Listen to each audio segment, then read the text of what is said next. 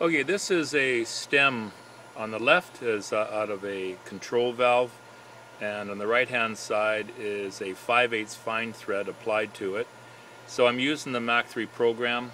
Um, it's had the conversion done with the Mach Motion. The threading on it works beautiful. Uh, there's my there's my program right there that is up and running and I'm just gonna I got one loaded um, in the chuck so let's fly at it. I'll hit the cycle start.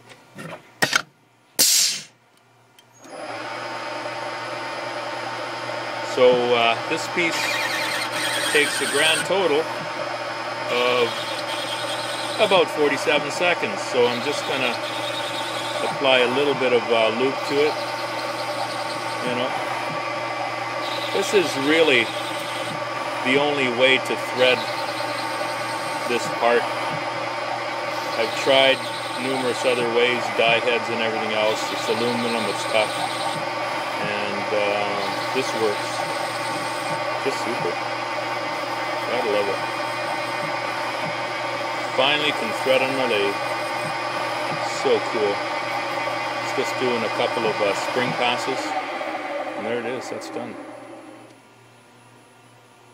So if you take a look at uh, what this does in a matter of the time it takes, man, it sure is worth it. This little part, by the way, is worth over 15 bucks. So gives you uh, gives you an idea. So the part on the left is something that came out of uh, a different part number. It was unthreaded, so in order to make it to the common one, I had to thread it.